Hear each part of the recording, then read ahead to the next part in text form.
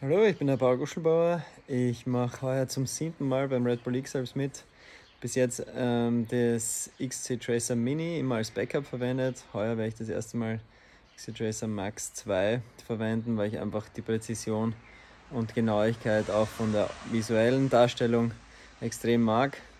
Ich äh, finde das Projekt richtig cool und freue mich aufs X-Alps mit dem XC Tracer.